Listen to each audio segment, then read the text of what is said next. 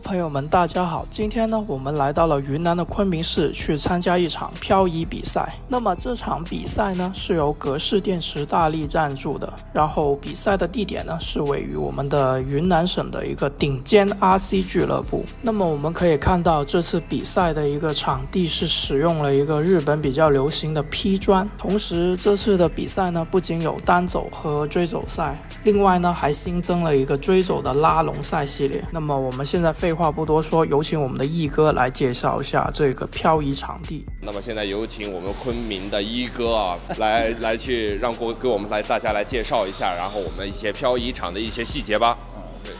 好，那现在大家看到的这一部分呢，就是我们临时把这个文车场地给。拆掉，拆掉之后作为一个赛员的一个 P 位，因为这次报名的人数超过了我们的一个计划，所以没办法得把这块场地空出来，不然没有条件。然后这边呢就是我们的一个主场地，主场地的话也是我们上个月才正式完工的，之前呢是一块地毯场，而且的话这边还没有那么大，那边本来之前是我们的一个 VIP 包房，但是后面我们嫌场地的。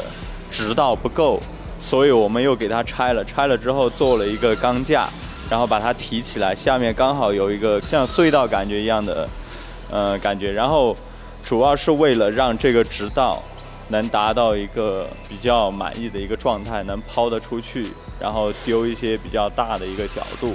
嗯，然后劈砖也是这次新弄，然后重新搞的。看一下劈砖。它这个是一块一块贴上去的，对，一块一块，我们没有直接粘在上面，而是在背面用了一个胶带，给它四块拼成一块之后，给它放上去，嗯，就是便于之后的一些调整，嗯，呃，然后坏了的话也容易更换，嗯，呃，然后这个灯也是我们最近请顶尖这边的工程师自己 DIY 的一个感应灯。它是用的是一个什么原理？其实它就是一个红外的一个感应器，感应器，然后接电容之后的一个灯泡。这个的话也是看那个阿峰的教程，呃，自己学着搞出来的。就是说目的也是让大家，哪怕在一个人单走的时候，也有一个呃好的一个衡量，就知道自己应该怎样去走，走得到什么样的一个程度，也是一个自我训练的一个标准。然后这边的话就是我们的，啊，我们自己的一个 P 位，把我们自己喜欢的东西也给它加入了一个进去。好，我们上来看一下。然后上来这个位置呢，刚好我放了一台我自己闲闲置的赛车模拟器，然后也可以练一下漂移。之前我的漂移就是这么练的了。然后这边就是我的工位，一哥的工位。哇，一哥，一哥的飞多到摆不下。对，上面还有，主要是主要是放在家里，现在孩子小，怕被他们给弄坏的。这些这些是越野的是吧？对，越野的皮位，然后从上面坐在这里喝杯小小茶，然后看着朋友在下面飘着，也蛮舒服的。就也希望更多的朋友可以来到我们昆明的顶尖模型场地，我来感受一下我们的漂移，啊，和我们一起。愉快的玩耍，那我也欢迎 Parker 这一次啊带着肥龙太子跟你们一起过来，也希望你们能够拿到自己满意的一个成绩。好嘞，感谢感感谢一哥这次的安排，然后也欢迎一哥的话，然后多来广东啊，那肯定大家一起来交流，对对对对对对，非常感谢一哥的介绍，谢谢大家。那么这次的比赛呢，是邀请到了许多来自五湖四海的车手。那么其中呢，我们也见到了非常多熟悉的身影。那么接下来呢，我们就邀请他们介绍一下他们这次参赛的车子吧。我们这次比赛介绍一下选手啊，我们唐总。然后这次唐总带来一台什么赛车？Ucomo 的 MD 一点零，老演员了。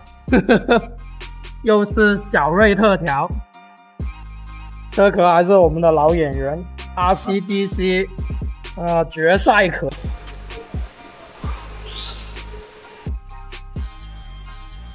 请多指教。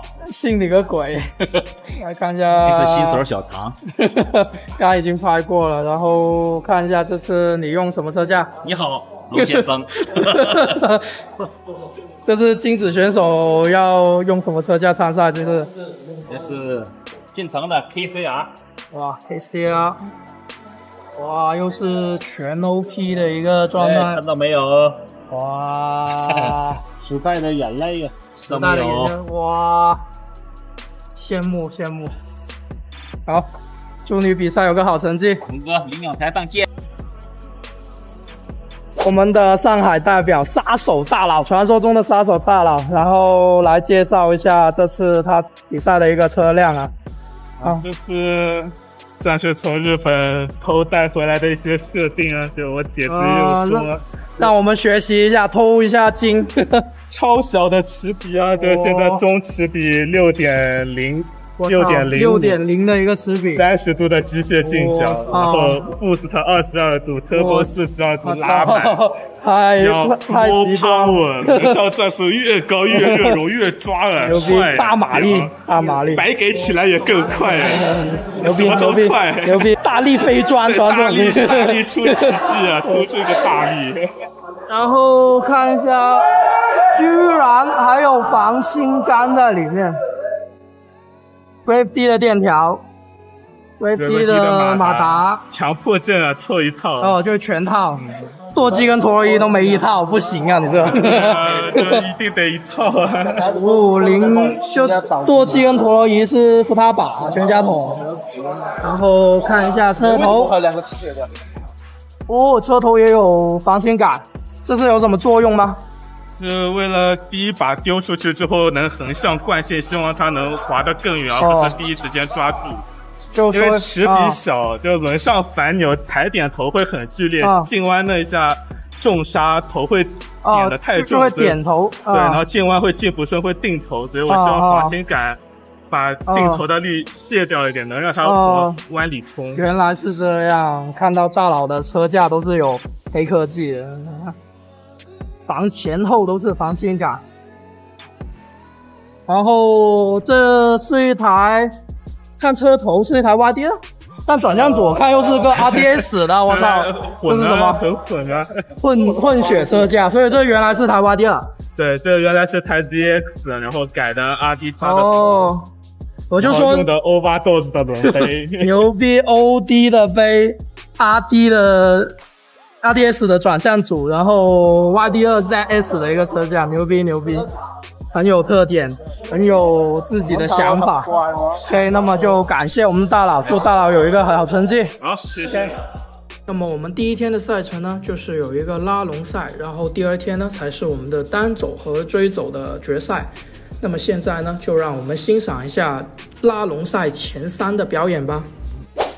那么首先上场的呢，就是我们这次拉龙比赛的冠军，就是我们的天津车队。可以看到头车的话呢，是由我们的金子在带领，然后中间这车的话是我们的唐总，最后的一台车是来自北京的黄瓜。可以看到他们整体的配合度是比较高的。那么这次的拉龙比赛最后也有一项非常特别的项目，那就是花式停车摆牌。那么接下来上场的呢，就是我们的拉龙赛亚军，就是我我们的上海车队。大家可以看到头车的话呢，是由 Neil 去带的头，然后中间的车呢就是杀手，然后最尾的后车呢是我们的土木选手。可以看到他们的整体的角度是比较大的，而且同步性也很好。